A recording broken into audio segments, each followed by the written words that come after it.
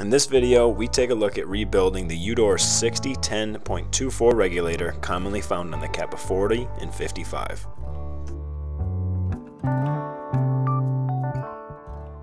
Start by removing the regulator from the pump. Remove the top assembly using a 10mm wrench. Once the two bolts have been removed, the top assembly along with the RV body will separate from the main body of the regulator.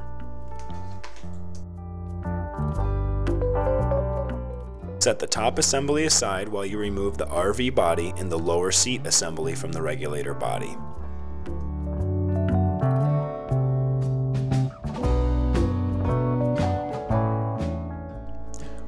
Once the top components have been removed from the main body, clean the main body before rebuilding. To rebuild, you will need part number 8701.10. This is the entire rebuild assembly for this regulator.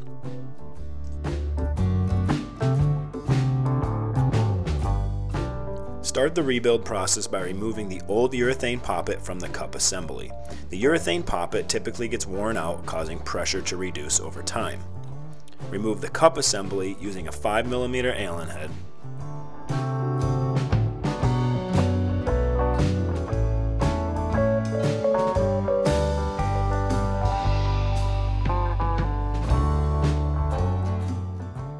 Once the cup has been removed, you will reveal the diaphragm.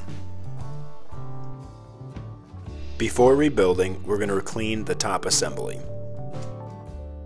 With the top cleaned, we will now start rebuilding. First is going to be the diaphragm. This is directional, so make sure the side with two ribs is facing up. Follow that by the cup and the new bolt.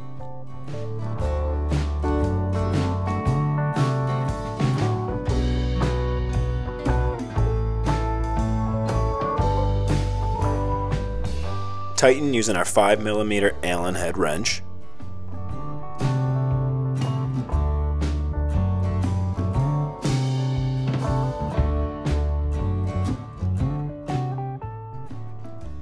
Replace the urethane poppet. This is non-directional, it doesn't matter which side goes in first. Next we will replace the seat. The seat needs an O-ring.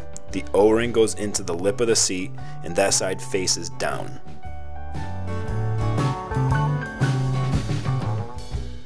To reassemble, we're going to start with the regulator body, followed by the O-ring, then the seat, followed by the RV body. The seat should fit into the RV body. Make sure the position of the outlet threads is the same as when you removed it.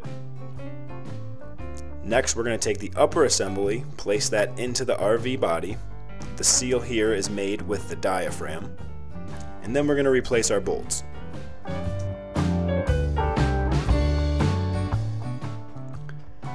Tighten the bolts down and the regulator has been rebuilt. In the repair kit there is an extra O-ring. That is the replacement O-ring for the side where the regulator attaches to the pump.